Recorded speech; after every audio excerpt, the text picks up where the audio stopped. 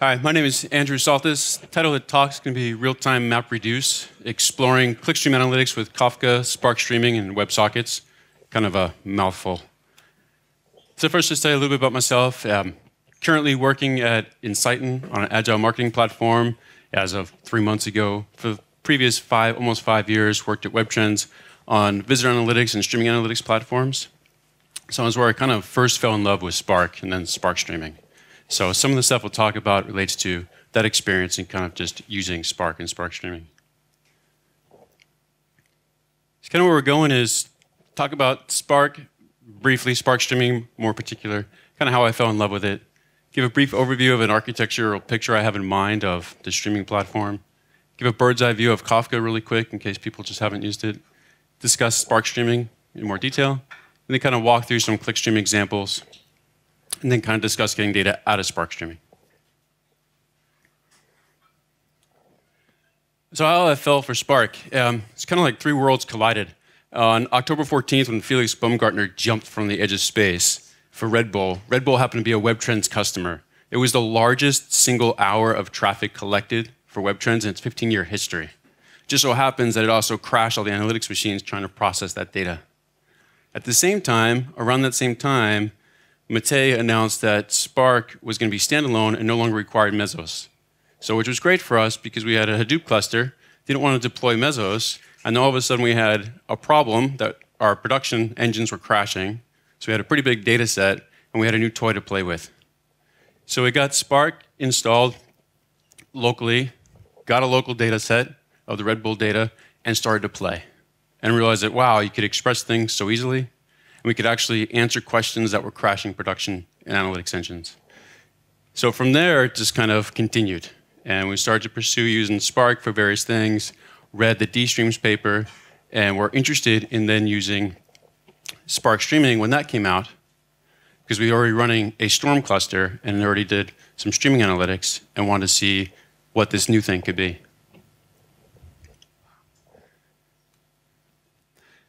So why Spark Streaming? You know, like I said, we already had Storm running in production at providing a streaming analytics solution for our customers, really kind of event-based. So it's, you know, clicks coming in, some light augmentation, some light analytics, and then data going out as fast as possible. So pretty much from click to dashboard as quick as we can. So we already had that, yeah, but we wanted to deliver an aggregate stream. So we could do things like a rolling top N of pages, or the top visitors on the site, or the top countries, or top browsers we wanted exactly one semantics to be able to do that. Right? We didn't want to risk double counting or have any issues like that. And we were okay with things being at second scale latency. Right? We didn't need the storm speed of an event stream. We were okay if things are delayed. We want to see top pages, say, last 10 seconds, last minute. So things could be delayed. It was just an aggregate of what's happening for your business at that time. We also want to have state management for computations. So if things did go south, as they do, we wanted to be able to recover and not lose our state. And since we've been using Spark and started to kind of fall in love with that and really appreciate using that coming from a Hadoop MapReduce world, we wanted the ability to combine that historical data that we were doing aggregations on with stuff that was streaming. So then we could get a more holistic picture of a user, do some other analytics on the data, or do something with it.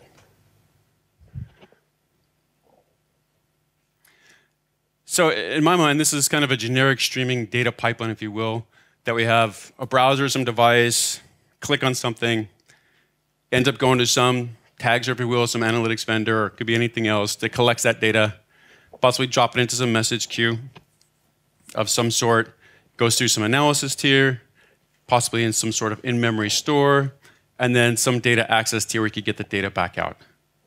All right, so in the Storm architecture I had talked about, you know, we pretty much had this type of thing with the analysis tier being Storm and the data access tier being you know, a web sockets, web service that we would then serve data through. So as we started to play with Spark Streaming, we thought, can we do a similar type of thing? So that this is pretty much the pipeline that I was thinking about, you know, putting together code for this and just kind of walking through it. Of you know, I wasn't going to put together a, a, real collection server, but I just got like the MSNBC click traffic from the UCI KDD data set that has like you know, real visitor patterns for a day in, you know, in September. Basically took that, replayed it into Kafka, run it through Spark Streaming, back into Kafka, and then out via a WebSocket server. Okay.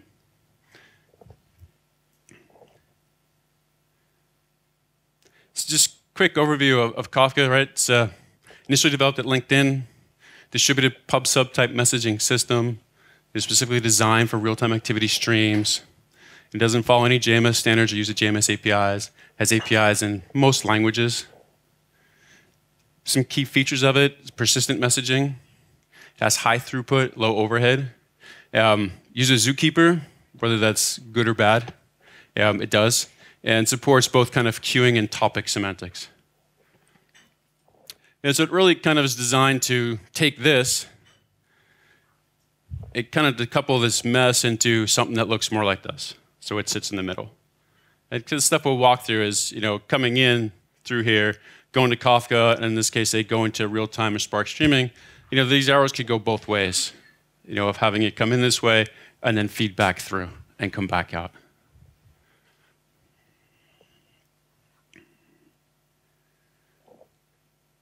So Spark Streaming sits on top of Spark with the goal of delivering large-scale stream processing. It's pretty efficient and fault-tolerant stateful stream processing. Uh, integrates with Spark's batch and interactive processing. So you're working with a stream of data, and it really feels no different than if you're working with a file that's coming out of Hadoop. So everything kind of feels the same, and you could kind of mix them, and you really kind of lose sight of where that is, and it blends it really well provides a simple batch-like API so you can implement complex algorithms. So the same thing, you really don't know you're working with a stream. You just realize you're working with a different type of RDDs that, Storm, that Spark exposes. You know, with that, it provides a certain programming model. So in Spark, there's a notion of these RDDs, these resilient data sets. In Spark streaming, there's dstreams, which is a discretized stream. These are very similar APIs. It looks and feels very similar to it. Um, you pretty much live in a world of you have input, where you have D streams that are being created from an input stream or from another stream. Right? Then you deal with operations on them. We're going to transform them and do something with them, and then you're going to output the result to somewhere.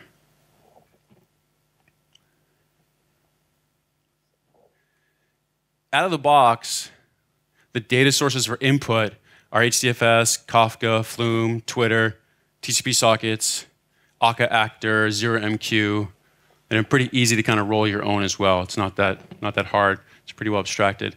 So they got a lot of things pretty covered from an out-of-the-box standpoint on getting data in.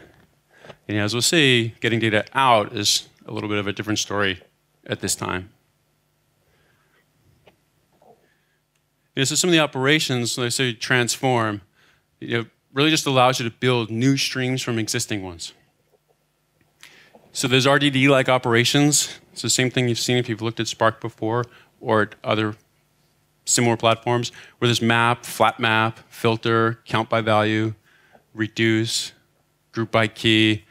You know, so a variety of things. So the ones in bold we'll see as we kind of walk through just some code examples of it. Some of the things that are new that it does bring to the table that don't exist in Spark are the windowing operations. Right? You could do a window, you could count by window, you could reduce by window, count by value in the window, reduce by key in the window, and you could update state, which is pretty interesting for doing certain things. So we saw that there were a lot of different input options. This is all you get for output out of the box. You get print, which will print to the driver's screen, so that doesn't really do a whole lot for you. You get for each RDD, where you could perform an arbitrary operation on every RDD that came out of the batch. So it kind of gives you the point that you could do something. And you could save as an object file. You save as a text file, you could save as Hadoop files. So somewhat limited for a streaming platform to only have that as the output. Um, there's some different projects out there to have other outputs. Um, it just has always been the focus to get data in, and so far not a whole lot that's gone on to getting data out. So as we'll see, what, what I've put in place, at least what I have here, is, is just leveraging that for each to send data out. But it's still not as clean as the inputs that they offer because the inputs all seem the same. It's a generic way of getting data in. There's no really good generic way to get data out. So the discretized stream processing we talked about. So really kind of how this looks in the picture that we had is you imagine this stream of data coming through Kafka, and it's really kind of breaking it up into these batch sizes. Right, so imagine each one of these as the stream is flowing, each one of these representing a batch of data coming through, you know, it could have a granularity of say like a half a second. Right, so as it flows through, you end up inside of Spark Streaming, say we're consuming this from Kafka, we're gonna do some processing on it, and then we're gonna send out these process results, again, in some sort of batch increment. Right, so it's a stream that gets broken up. These little discretized pieces, you process them and send them out.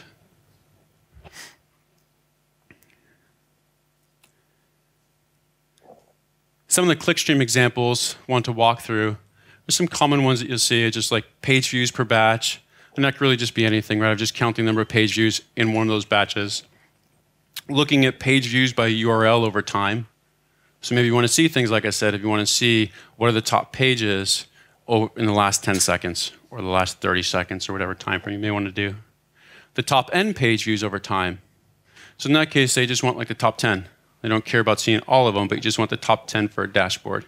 So maybe you want to see the top 10 pages, maybe you want to see the top 10 countries or browsers or cities. Another one is keeping a session up to date. You just to say you have something where someone's on a site and there's traffic coming through and you have their session in hand and you want to be able to keep track of that session as more data flows through. So that's we'll see where update state by key, we could hold on to a session that's live and keep updating that session as more traffic flows through. Joining the current session with historical. So in this case, say you have, again, that same session that someone's on a site or doing something, and then you also want to be able to reach back and grab whatever their history may be and pull that together. And maybe you want to run some other computation on that. Maybe you want to do some sort of prediction as to the likelihood someone may buy, the likelihood they may abandon, the likelihood that they may do something, provide a recommendation for them. There's a lot of different things you could do. You could also decide that maybe it's not historical, but in just this general joining of two streams, maybe you want to join the current visitor stream with the weather. So now you could grab their zip code, grab the weather in their zip code, and have an idea, if you're a pool company, of whether or not you should provide them an offer or make some other decision based upon this other data.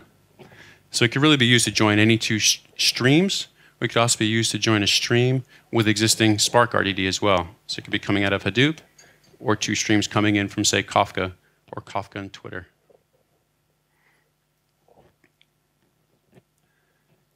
So the first thing to get things going, to be able to do kind of our page views that are just in each batch, you got to create a stream from Kafka.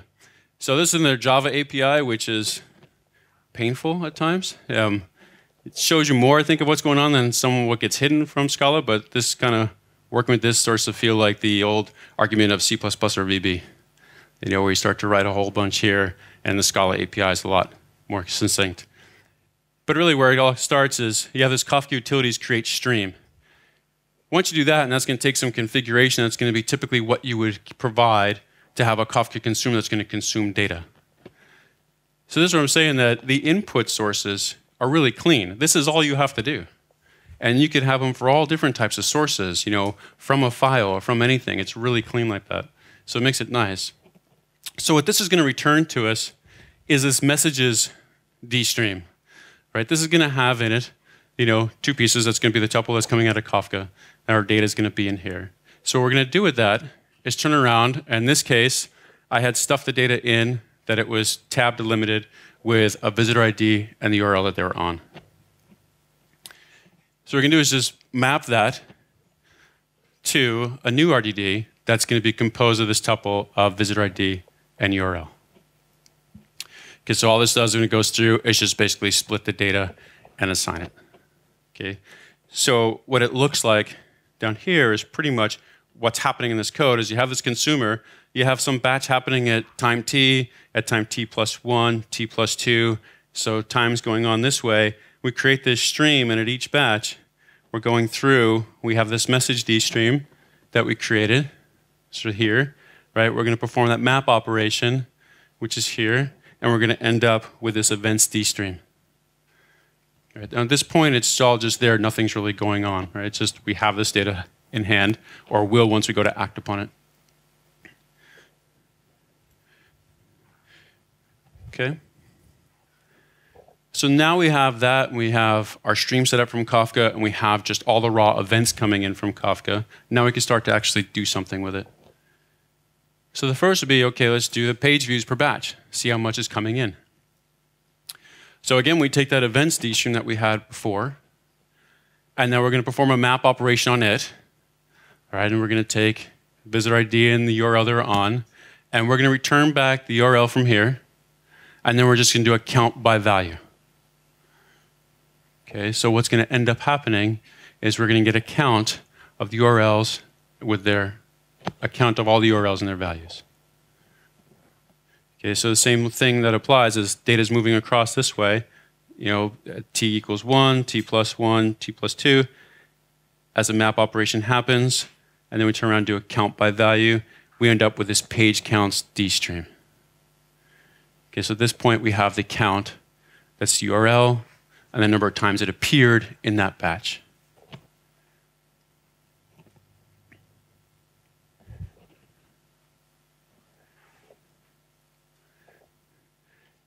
If we want to take that a little further and say, well, now we have that, that really doesn't give you a whole lot except knowing how many URLs were in a batch. So you could maybe see like a number of events that are coming in, but you're really not doing a whole lot with it. So now if you actually want to say you want to see the page views per URL over time, now we can take, again, that same events D stream that we had. We're going to perform a different map operation on it. Do the same thing of returning back the URL. This time we're going to do a count by value and window. So the same before we did a count by value, this time we're going to count the values as well, which are the URLs, and, the, and a window in time. Okay, so this is going to be our window length that we want to do it over a 30 second window, and we want our batch interval to be at five seconds. Okay, so we'll have 30 seconds of data and compute this computation every five seconds. When that's done, we'll go ahead and reduce it by key. And then what we end up here, right, is so coming out of this every five seconds, it's a mini map reduce job, if you will, runs, batch job that runs, that we end up with the URLs and their counts. And then we're going to turn around and reduce it by the key, which is the URLs. We get the values, which are coming in as the counts, and we just add them together and just return it. Okay, so what ends up happening when this comes out, and we go to use this, is we end up having the sum of counts for URL every five seconds. So from here, you could just see all the URLs happening. Every five seconds, you have access to all the URLs with their counts of how many times they were visited. The one thing that's different between, wrong way, between say these page views per batch or and this, this doesn't do any sort of windowing operation at all. So there's nothing that needs to get persisted anywhere for failover, right? So you notice when we do this, and then we want to count by value in window, and we're going to need to have a window of 30 seconds and a batch interval of every five seconds, that data needs to be stored somewhere. Okay, so there's a checkpointing that you need to basically set up in Spark Streaming to tell it where to checkpoint. And a checkpoint to HDFS by default. If you run it locally, just give it a local directory and it'll checkpoint to there. By default, with count by value and window, it'll checkpoint every 10 seconds. And that again is that's controllable. So now we've got all the page views with their counts going on. Something that's maybe more interesting or more useful instead of just streaming a bunch of data at someone is actually just have the top. And maybe you want the bottom. In this case, we're just going to do like the top. So in this, we're going to take that sliding page counts that we just had before. We're going to turn around and basically just swap them. So now instead of having the URL and its count, we're going to end up with a, with a D stream that has the count and the URL. Once we have them swapped, we're going to turn around, transform that, and basically sort by key. And then I come, I mistakenly deleted code that should have been there. Uh, the last thing that you would do is from there you could do a take and take 10, and you'll get back just the top 10. And since it's already in sorted order, it's just going to give you back the first 10 from there. There's also an API to make this simpler that you could just do a top. You could do, it's other ways that you could solve the same problem.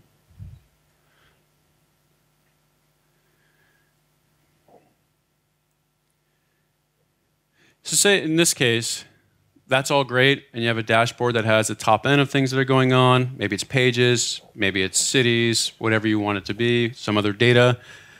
And now you want to basically have this situation if you want to update a current session as something's flowing by. Say it's a user session as they're active. All right, so what you could do with update state by key is really specify a generic function to modify previous state with new data. So in this case, we're going to declare this update function. That really all it's going to do is it's going to take this page view, assume that we have some page view object, and it's going to take the session. And then we're going to perform an operation on it, update in the session, and return that updated data. So now we could take in the new pages that were viewed, and the session object that we have that's representing our state, and update that session with a new page information, and then return it. Okay, so when we do that, this is the update function that will be passed in, and we just basically take, say, this page view dstream that we may have, call update state by key, and pass in the state information, the function that represents that. Okay, when that returns, then we have a visitor history and a current visitor session that's currently being kept as data is flowing through. You know, there's still things to work out that you would need to do as far as what happens when you know that state's no longer valid. You know, in the case of, say, a visitor session, it times out. So you still need to do other things outside of this to make sure that that's cleaned up or taken care of.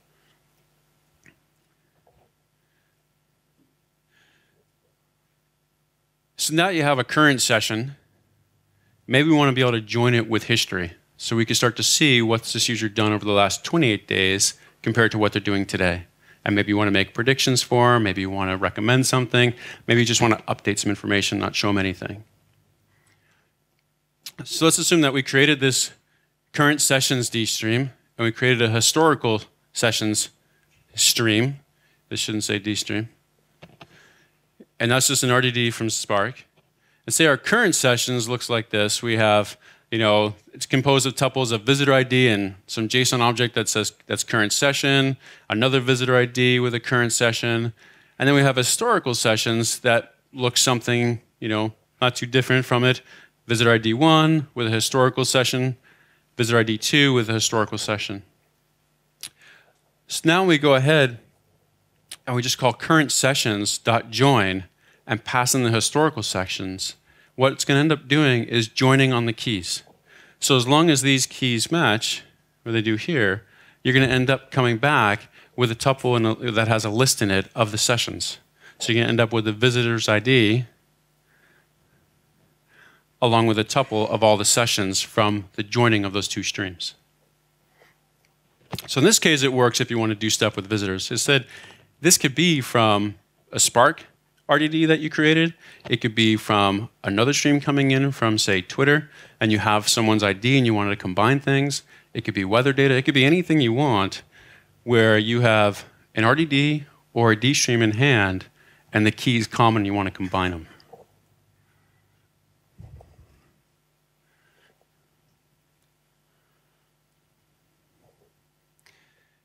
So, so where are we? So we kind of walk through, kind of just flowing through. We kind of got these chunks of data coming out, right, in these batches of a half a second. We did some processing on it, and then we have the process results going out, and then back into Kafka. So in this case, I chose to use Kafka. There's other ways that you could do it as well. You know, so you see that there's some problems that you need to consider if you end up using Kafka and say you have a WebSocket that's connecting and you have some WebSocket server that's going to be managing clients, there's things that you need to consider within Spark streaming that are unlike Spark. Right? So, for instance, A regular Spark job, when you run it, it's like a MapReduce job. The computation is done, the job's done. In a Spark streaming job, it runs forever until you kill it. So it doesn't end as soon as the computation is done. So the batches that you run it in, it's just sitting there in a loop, if you will, and constantly running. So imagine if we did have, say, this going on, and we had those, you know, handful of streams that we were going over of, say, top N, and we're updating visitor history, and we're doing these things. Those are always going to be running and producing data to somewhere. So there are some things you need to consider, you know, when you have it set up where they're launched and run, and they're just going to be pushing data out of there's no way to kind of shut things down and to clean it up.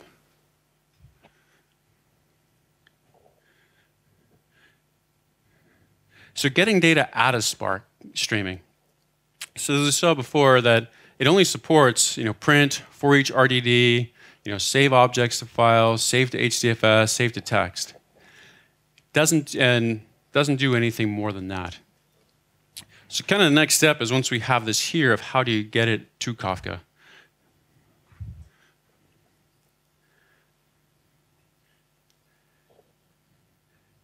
So this is one example of how you could use a for each RDD, um, which again is, is not a generic way of output, but it's the only way currently to be able to have access to the collection of RDDs from a batch and to do something with them. This Kafka producer, Gishoya, is really nothing more than just typical standard Kafka producer code.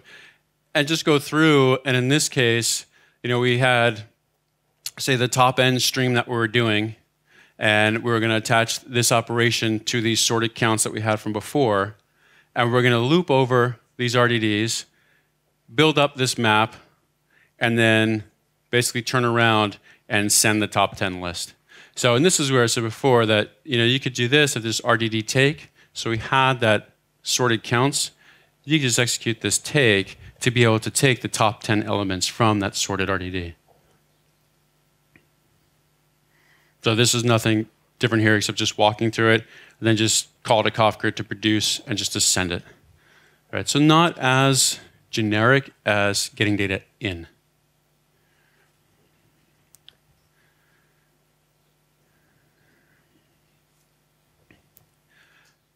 So WebSockets kind of chose of had success with it. It's kind of an abuse of it at times if you use it for Storm at very high volume to have all that data going out to WebSockets. Um, you know, it really causes pain sometimes to browsers when you're pushing a fast stream across it. Yeah, but it looks fun, it shows well, it does pretty cool things. So it's a standard way to get data in and out, easy to prototype with a browser. So one way of handling it Oh, wow. Sorry. Wrong button.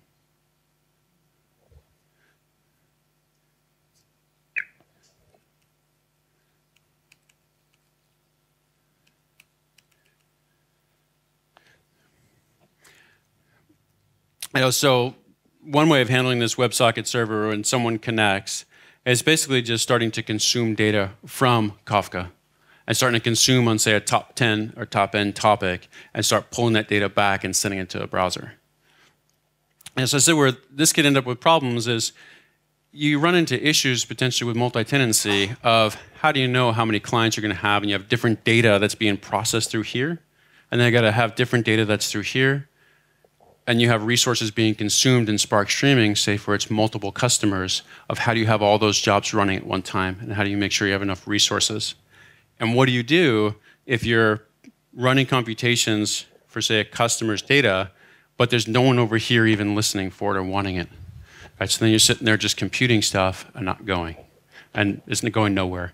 So another option, as opposed to doing this, that I've seen be successful is have that WebSocket server, have a client that comes in, and since you're already infested with Zookeeper, if you have Kafka, of turning around and registering this server in Zookeeper with some sort of ID about the browser that's connected to it or the WebSocket client that's connected to it, and then having Spark streaming and the code you have in there, watching Zookeeper for changes and seeing who has the data and who needs the data. And then via ZeroMQ, going from Spark streaming back to WebSocket server. So then you could handle things of starting up a stream if someone connects. You could tear down a stream when someone disconnects. And you could handle state and here as far as resource consumption.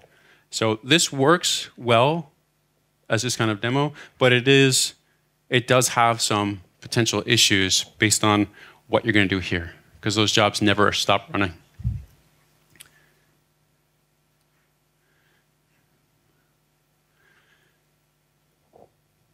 Kind of just a summary, and then we could walk through the code and show the demo running if we want. Um, you know, Spark Streaming works well for clickstream analytics. You know, we use it for doing those types of things. We use it for trying to do some sort of predictions and just kind of working with that data. But still, there's no good out-of-the-box output operations for a stream. You know, for each is it's just not that great. Um, multi-tenancy it needs to be thought through. You know, so there's because those jobs have no end of life you're stuck in the position of having to control what happens to them. How do you bring them up? How do you bring them down? With regular Spark, if you notice, there's now a job server that you could submit jobs to. We've done things where it compiles MapReduce, you know, Spark jobs on the fly and launches them. Know, that's nice and that's easy because as soon as that job finishes, you get back the results, it's gone. In this case, even if you do the same thing and you programmatically launch a Spark streaming job, you have to know when it needs to die, or it's going to continue to just kill resources.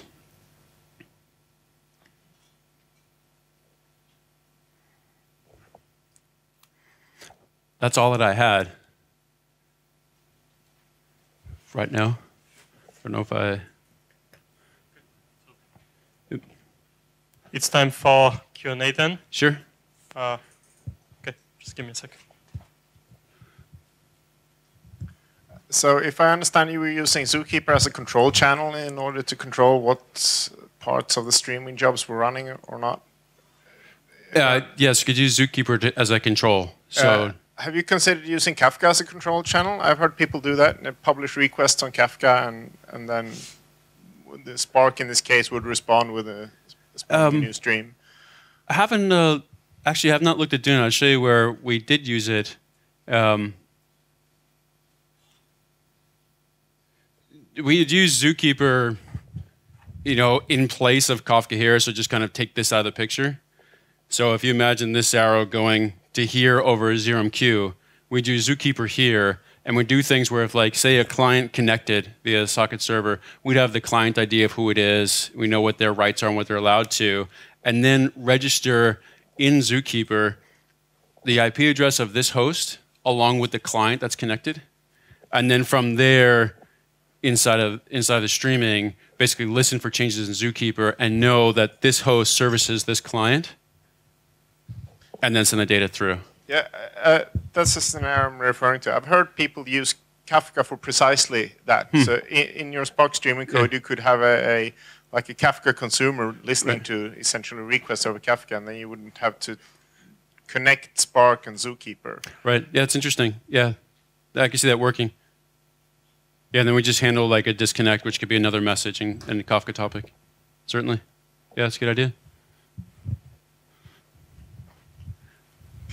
Mm. We started prototyping something uh, similar with uh, Spark Streaming, but uh, instead of Kafka, we uh, are using uh, Flume. Um, how the, how, what happens when uh, messages are dropped, or if what is the redundancy on the Kafka side? I, am not too much familiar with Kafka. Um, are there um, duplicated elements or dropped elements? So it could store the data based on time. We had it set up where it would store data for 72 hours. So it would hold on to messages for 72 hours before anything would get deleted. I'm sorry I didn't repeat your question. I think you you had asked. No, no, no. Uh, I was saying um, the flow of events from um, um, at the input of Spark streaming. Uh, so you say that Kafka is reliable, right? Mm-hmm. Oh, for input. So you're asking about input into Spark streaming? Yep.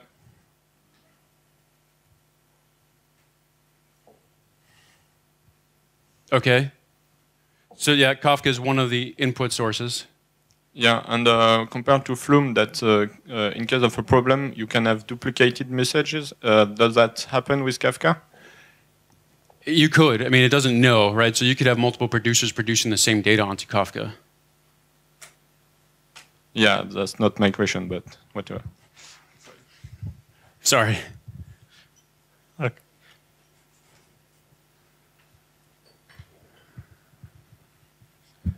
You were explaining how you, you were mm, merging or joining data with his, uh, on, um, streaming data with the historical data, right? Correct. And you have pretty short batches, right? And you can have quite a bit of historical data. So how does this join happen actually efficiently? Because uh, I thought it should happen more or less immediately, but you can have lots of historical data. So I didn't quite get it. Right. So then the question was, how do you combine the historical data with the in-flight data fast? Is that right? So the historical data that we had was just visitors and partitioned by visitor. So we would have data that's routed to the right nodes with the visitor, and then have all the data that's there. And in reality, a lot of visitors don't have that much data. So it ends up not being that big. In aggregate, it's a lot, there's a lot of data across all the visitors, but as someone's streaming through, it's really not often do they have a lot of data. If you look at a lot of web analytics, everyone believes that people come back all the time, but the reality is a lot of people don't, and sessions are small, so the history really sometimes isn't that big. But can it, can it pile up actually still if you're unlucky and Certainly. So, and you're you're stuck there, right? Because if you're getting this data from HDFS, then that becomes a bottleneck of getting it into Spark, and then at that point, right, you're bound by memory or, or putting it to disk.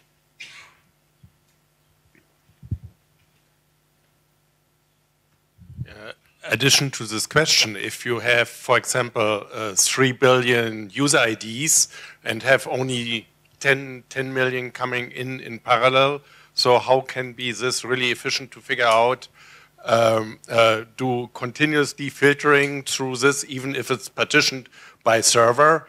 Right. So, so you have to go to a huge amount of data every time because the data is stored in, probably in something more uh, SQL internal. Right in terms uh, partition. Right. So I think the question was, so if you, the data just kept exploding, how do you do it efficiently? So we had used a Bloom filter to keep track of whether or not the visitor is possibly on that node, and to keep track to do checks to see if they're there before doing the operations. So we would build those and then have that there in hand to see whether or not we actually had to try and do some massive join. Um, what was the problem with uh, Mesos so why did you have to wait for the standalone feature in Spark? Uh, so the question was, why was there a problem with Mesos and we had to wait? Uh, there's no problem. We're just a small shop, at least, and we had a Hadoop cluster that was just plain vanilla Apache, and we weren't, we just weren't in a position to be able to also deploy a cluster that had Mesos. So once it was standalone, and that was one less thing we needed to go asking for, it just became much easier for us. So there was no problem with it. We didn't have issues with it technically. It was more of an operational thing of can we go ask for yet one more cluster. So that was all.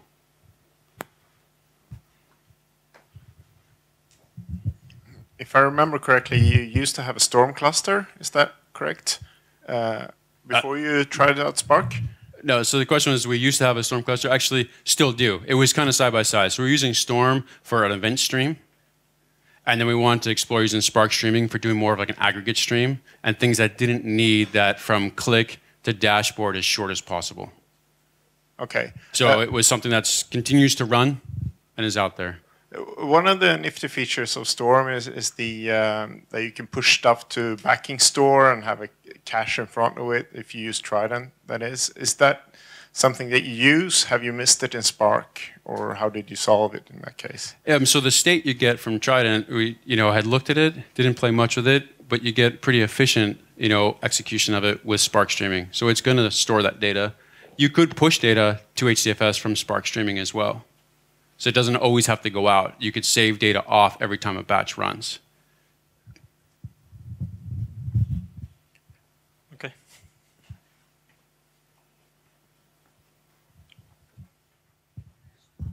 A question on join, joining to these streams. Uh, I see the problem that when you join to these streams, the problem is that you have to have the same keys at the same batch, right? Do you, do you see it really a problem for you, or do you do you solve it somehow? Right, so the question was joining two DStreams, you have to have the same key in the same batch. And the only thing that we were attempting to do is just make sure that visitors were routed the same way, and just that we'd end up with the same visitor IDs on the same Spark nodes. So, and I think it could be a problem though if you don't have the key there, you kind of you're not going to join. Right, so we handled it by trying to route visitor IDs. I believe we still have time for one last question. If no, thank you very much. Thank you.